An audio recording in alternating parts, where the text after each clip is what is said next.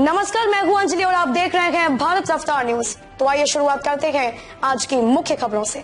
इस खबर के प्रायोजक है मज़बूत इरादा मज़बूत वादा लाला प्रधान है बेहतर ज़्यादा। लाला प्रधान जिला पंचायत सदस्य बसपा प्रत्याशी वार्ड नंबर 18 बुलंदशहर को अपना कीमती वोट देकर विजय बनाए चुनाव को मद्देनजर रखते हुए माधोदांडा पुलिस निरंतर सख्त और अपने कार्य में गहनता से लगी हुई है और अपराधियों के विरुद्ध सख्त से सख्त कार्यवाही अमले में ले रही है।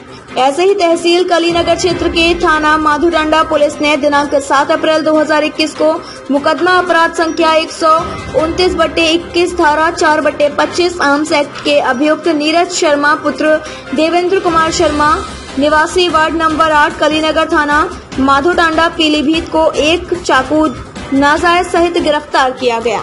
इस खबर के प्रायोजक है, दिन हो या रात, हर वक्त आपके साथ। जन जन की यही पुकार मोहम्मद अफजल अब की बात वार्ड नंबर 18 से जिला पंचायत सदस्य पद के उम्मीदवार अफजल भाई को अपना कीमती वोट देकर सफल बनाया हम सबने ठाना है, गाँव को स्मार्ट बनाना है। ग्राम सुनेहरा से इस खबर के प्रायोजक हैं प्रधान पद के भावी उम्मीदवार मुशर्रत पत्नी मोहम्मद इमरान, ग्राम प्रधान सुनेहरा से।